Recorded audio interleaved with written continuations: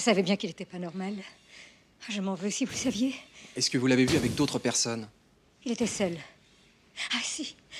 Après la visite, il est allé dans un magasin de vidéos juste en face, au 27.